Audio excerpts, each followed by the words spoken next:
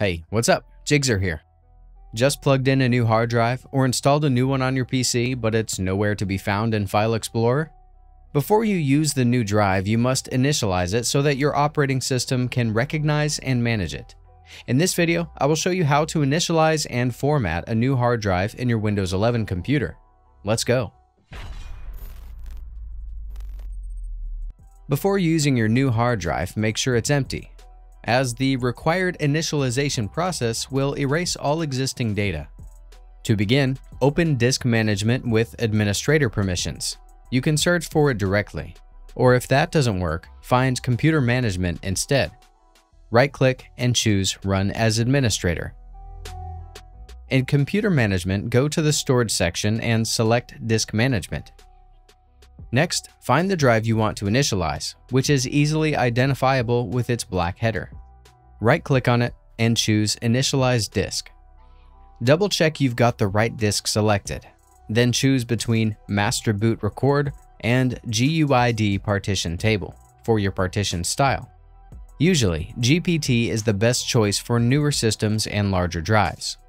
Once you've made your choice, click OK to confirm.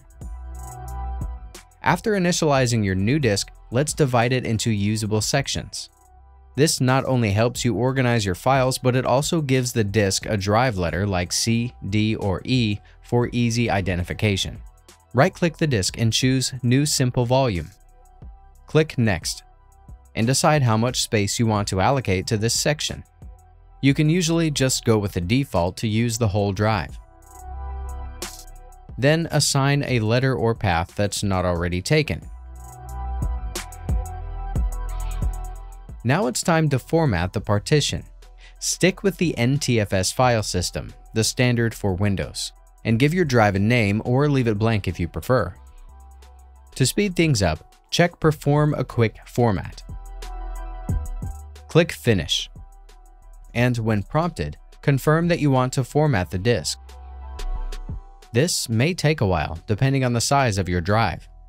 To prevent damage, keep your computer plugged in and avoid disconnecting the drive or shutting down your computer while formatting is in process.